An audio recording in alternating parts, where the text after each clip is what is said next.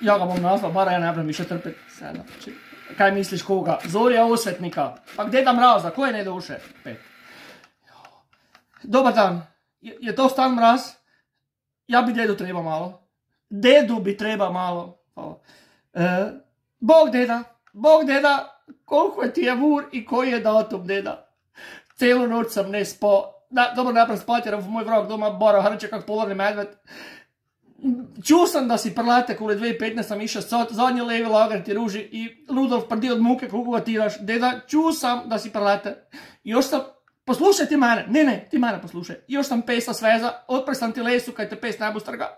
I, i ribnjaka sam podmazao zdravljenim uljem od traktora, kaj bo sam klizno dole lepo.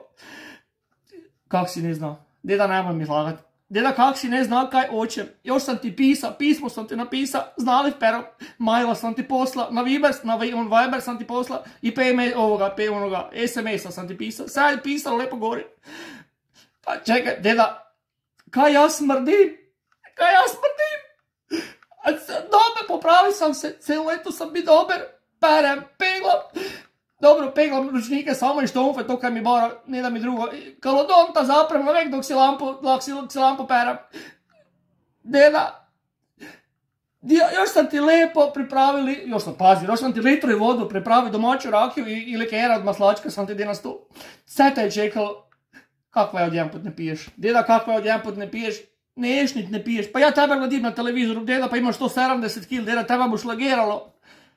Si, se ti imaš ti vagu doma, si se pogledal v zrcalo, očnega tlavka si se zmeri, cukora si malo pogledal, kako ti je deda, pa deda, do, čekaj, boš došel? Čekaj, ne šališ se?